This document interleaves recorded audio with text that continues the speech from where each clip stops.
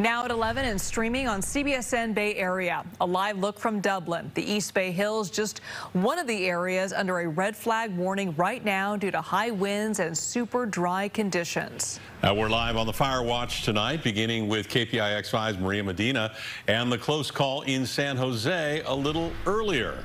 Maria? And guys, it was a busy day for firefighters here in San Jose. As you know, there is a lot of dry fuel out there, and today there was enough wind to fan the flames.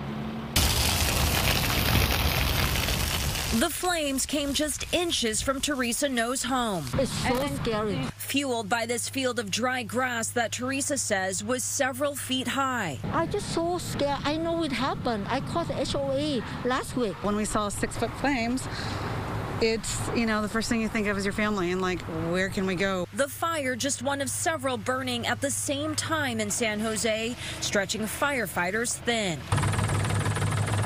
They'd been battling a series of vegetation fires burning off of Highway 680 near Berryessa Road.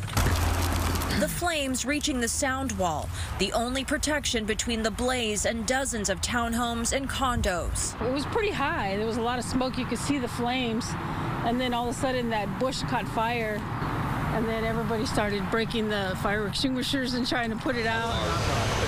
KPIX captured this woman being questioned in the back of a San Jose police SUV. Officials on scene told us they had two people in custody for setting at least one of the fires.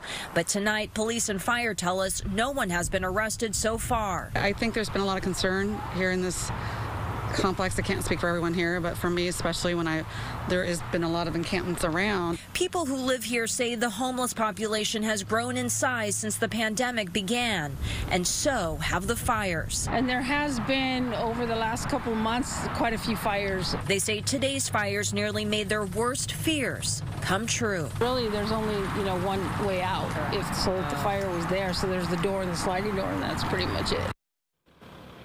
Again, several firefighters on scene told us that they had two suspects in custody, but police and fire told us later on that they had made no arrests, no word on what caused today's fires. Live in San Jose, Maria Medina, KPIX 5.